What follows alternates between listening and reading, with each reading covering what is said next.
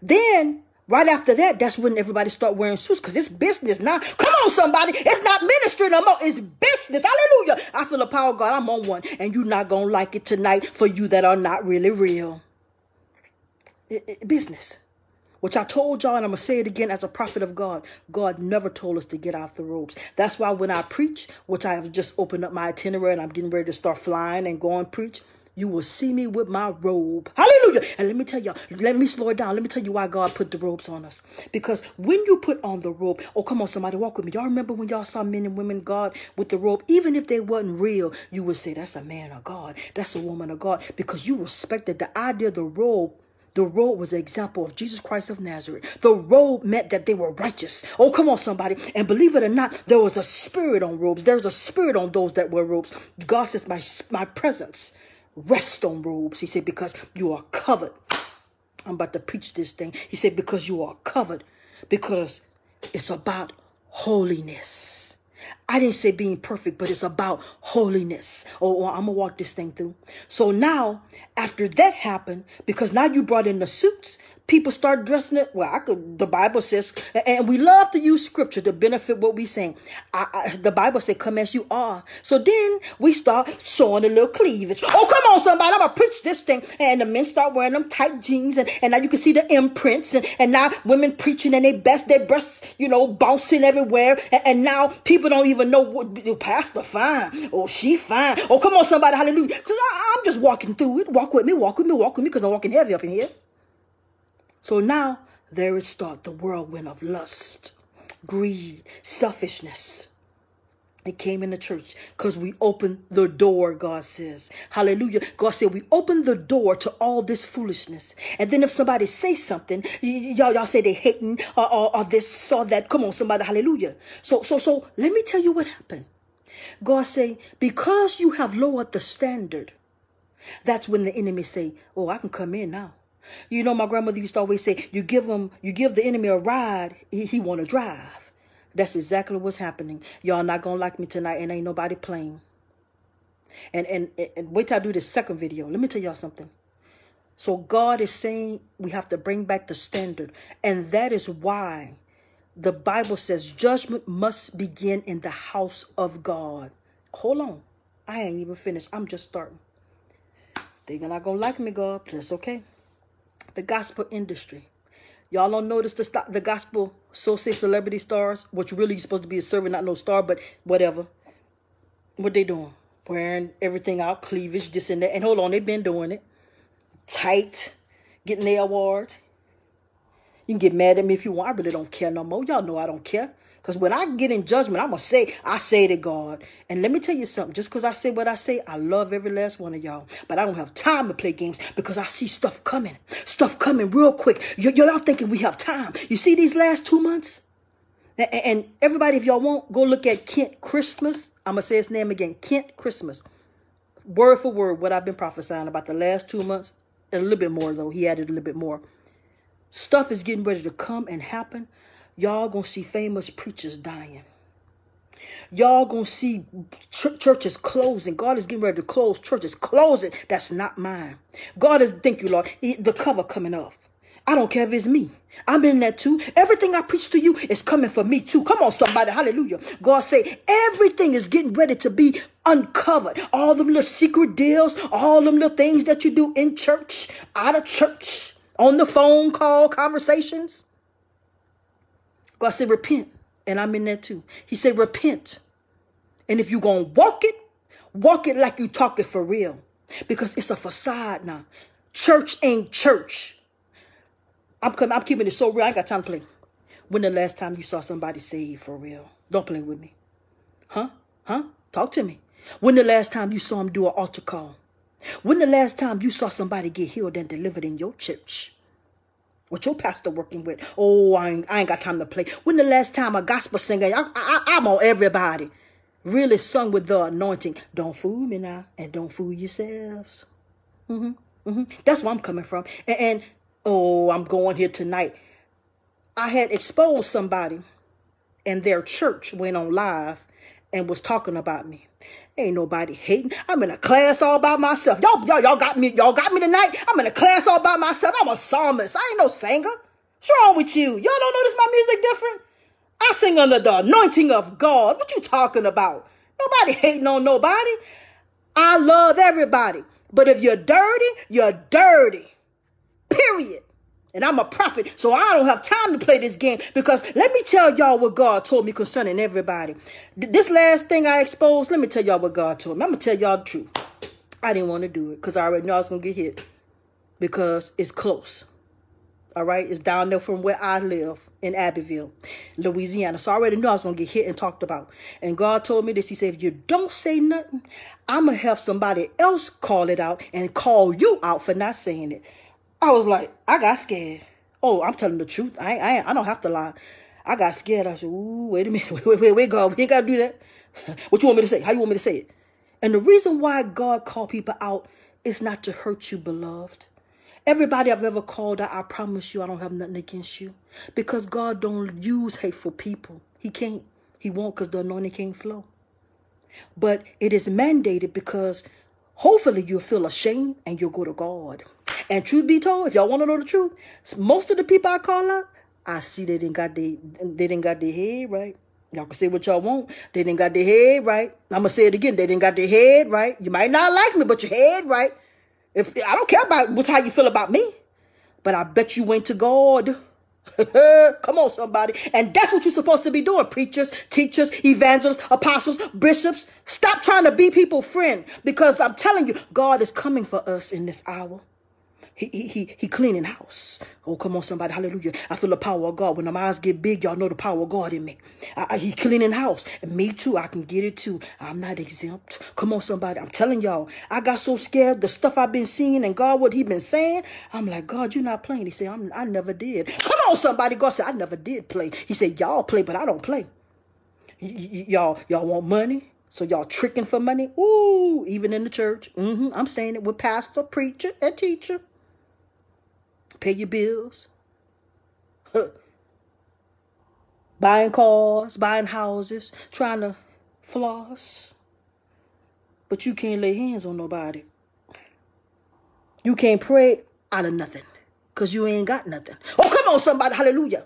Half of y'all ain't no, no, no, not even half. One fourth. You could preach from the hip because that's what you've been doing. You can teach from the hip because that's what you've been doing. But with this stuff coming, it's coming. Because let me tell y'all something. All these killings are not just random. Some of it that 5G is messing people's mind. Some of it is they they they, they let me tell you something. It happened to me. Y'all, everything I say, go to God if you think I'm lying. One day I went to this church. This man hit me on the arm. And I went home, my arm so I don't know what he hit me with, but it seemed like he must have had a needle or something. I was hurting. I felt kind of sick. That's what they doing. They passing by people and sticking them or doing something. And y'all sitting up there. I keep telling y'all, and I don't know why y'all don't believe me. All you got to do is go to God. In this hour, their power is witchcraft. Just like our power is the anointing, their power is witchcraft. And they playing with it. They think it's funny. That's why God told me, he said, Deanna, stop eating out. Look, I'm going to tell y'all what happened. I'm going to tell y'all what happened this week. Disobedient order some food. I was sick in here for a week. That's why I couldn't get on here. God told me this about last week, but I couldn't even get on here because I was sick. I repented. I said, okay, God. It wasn't, uh, you know, because I'm still fasting and everything, but it was that He told me not to do it. And I thought, okay, you know, and they they had to put something in there because when I said I was sick, I was sick up in here. I felt like I was, something was going to happen. I ain't going to lie. And God say, how many times I got to tell you? I say, God, I repent. I will never do it again. From this day forward, I don't care how tired I am. I'm just going to have to fix what I fix. If it, either apple, or orange, or whatever the case may be. I keep telling y'all, pray over your food. Pray over your, your children. hallelujah, hallelujah, hallelujah. God is raising the standard back up. He's raising the standard back up, he say. Hallelujah. He, he say, he say, do you want me or do you just want what's in my hand? He said, because it looked like everybody just want it was in his hand. He said, they're not spending time with me, Deanna. He said, they don't know my voice. That's why everybody on everybody else live. Pray for me. Pray for me. You can't pray for yourselves. And don't pray for me because if you ain't got no prayer life, you can't pray for me. Oh, come on, somebody. Hallelujah. Y'all know it's true.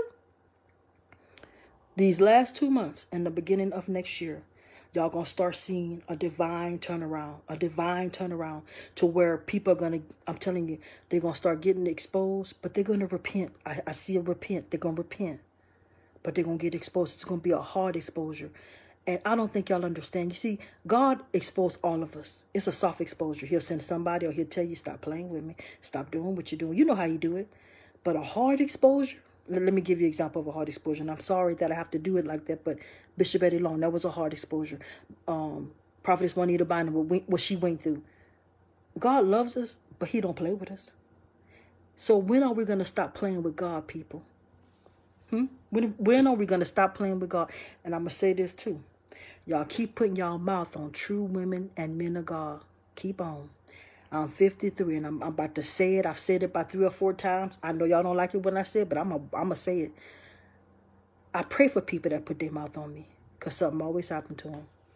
If you don't believe me, inbox me. I, I, I'll give you names and you can go look. So, so one person right now, look like she didn't, and I cried because I'm not that type of person. I'm not the, oh God, that's good, that's good, because God said, I'll turn it on you. Y'all better stop putting your mouth on true women of God and true men of God because you don't like what they say or what they do or how they roll. That's not your business. That's God's business. That's God's servant. Come on, somebody. I feel the power of God. That's not your business. You know what your business is? If you want to understand, go to God. God, if what is what they're saying is true, because God will tell you. God tells the truth. Come on, somebody, because He's God. Come on, somebody, the God of Abraham, Isaac, and Jacob. But in this hour, you better watch what you say. You better watch what you do. And you better be in obedience. I'm telling you, Matthew 6:33, he gave me that this morning. He said, But seek ye first the kingdom of God and his righteousness, not yours. You see, people think th- th- there's a scripture that says, it seems there's a way that seemeth right to man. As a matter of fact, let, let me let me try to go to it because I don't want to just say it like that. Hold on just one moment. Just one moment.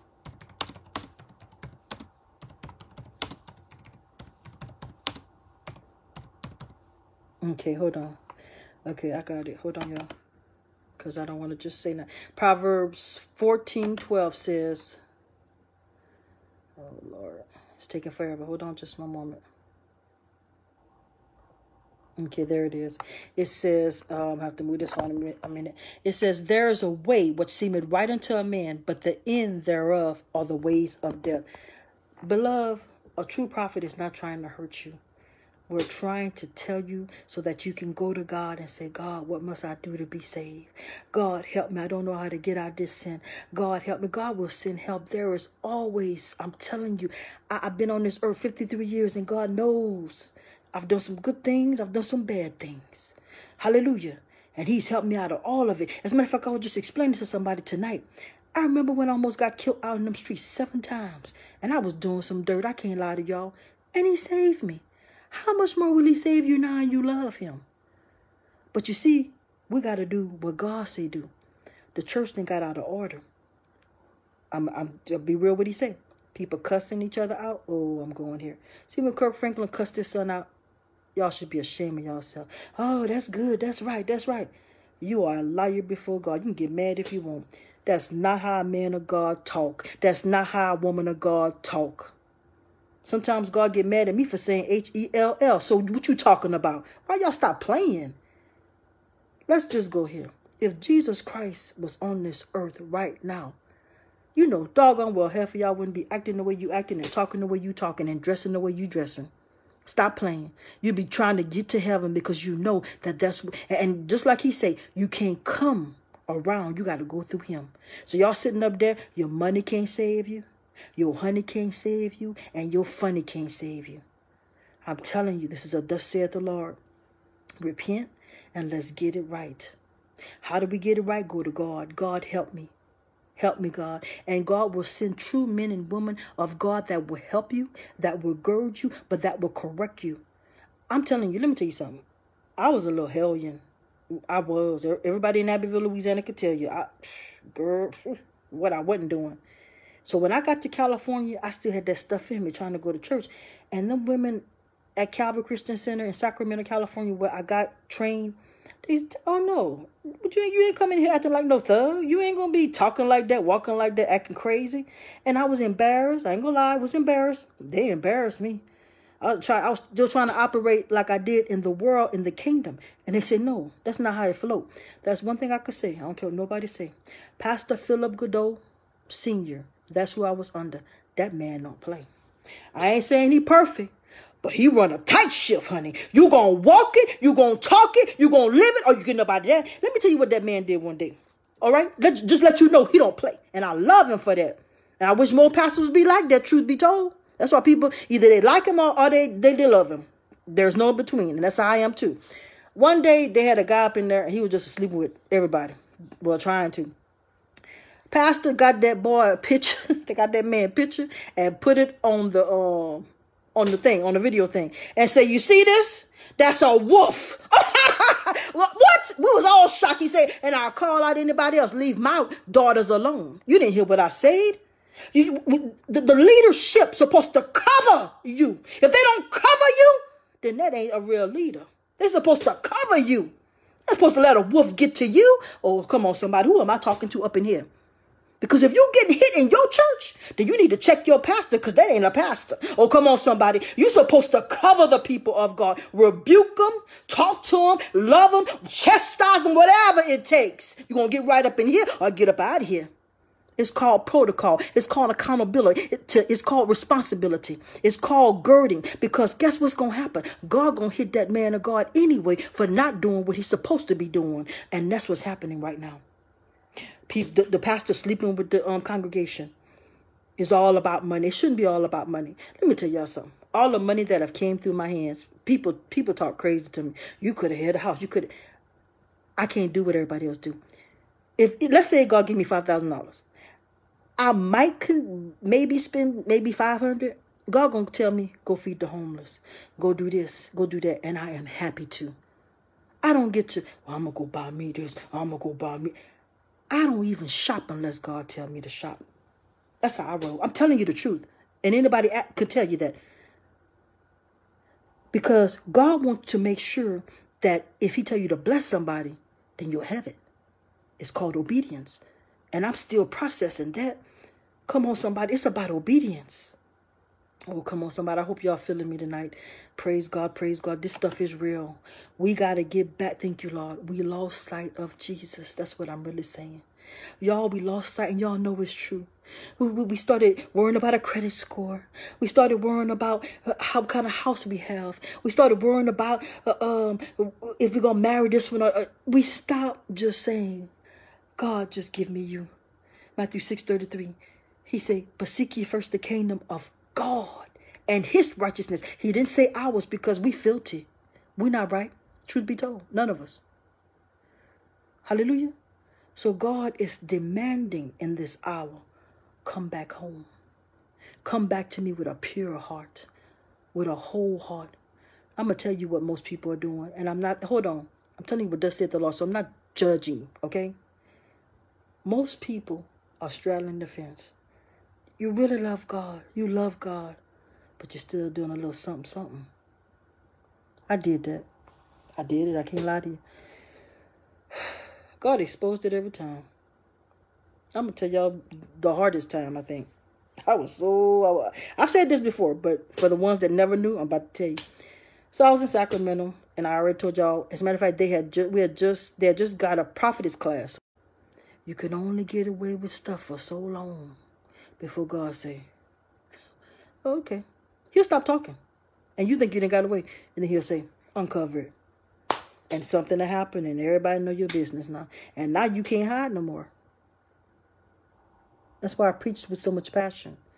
God loves us enough to tell us, stop, stop playing with me. Get this thing right. And shame on every pastor and preacher that's not telling the truth. Y'all not telling them people about New World Order. Y'all not telling them people that the gun law is getting ready to drop. That's what I was going to say. You see how God brought that around? Because I, you know, I be talking so fast sometimes. Let me tell y'all what's going on.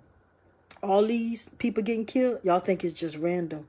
These are hits. They need that gun law to drop. And when that gun law drop, martial law dropping.